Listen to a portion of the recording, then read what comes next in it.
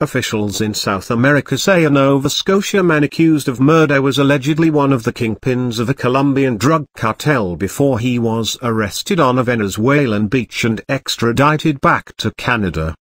The Office of the Attorney General of Colombia says in a press release that Stephen Douglas Skinner, a former MMA fighter from the Halifax area awaiting trial on second-degree murder, organized a drug trafficking network called Morphox with Daniel El Loco Barrera.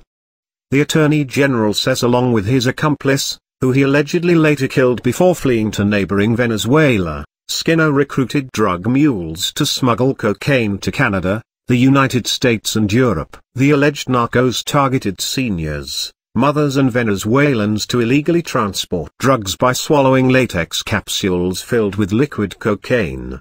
They allegedly purchased the drug mules' passports, airline tickets and clothing as well as paid for expenses abroad, promising a bonus payment when they returned to Colombia.